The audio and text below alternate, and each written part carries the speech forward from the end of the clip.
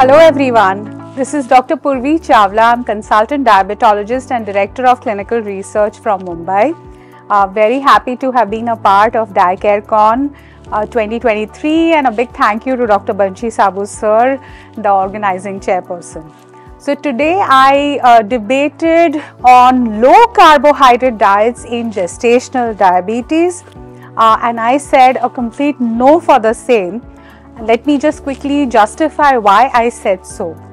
First of all, uh, historically we've been using low carbohydrate diets that is less than 130 grams per day or less than 30% uh, of the total energy intake is low carbohydrate and we've been using that for diabetes and we've you know just over time have extrapolated that it works in gestational diabetes as well. However, there is not much conclusive evidence because ultimately it's not the numbers that we are treating but also the maternal and fetal outcomes in gestational diabetes. There are four main concerns with using low carbohydrate diets in gestational diabetes.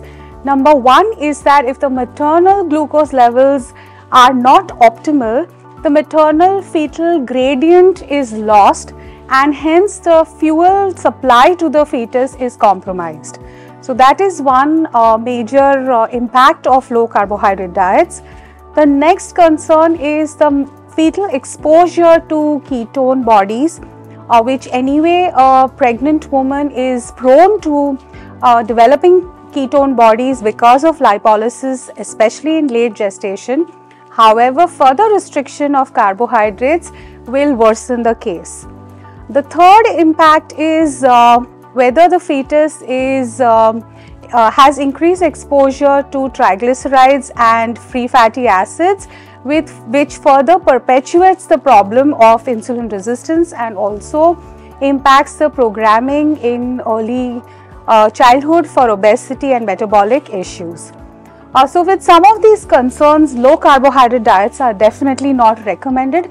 However, the very high carbohydrate intake in the Indian patients is also not recommended. Instead, we need to replace them with good carbohydrates, which means complex carbohydrates, low glycemic index carbohydrates, and a lot of fiber in the diet. And this is endorsed world over by uh, American guidelines as well as the Indian DIPSI guidelines. Thank you.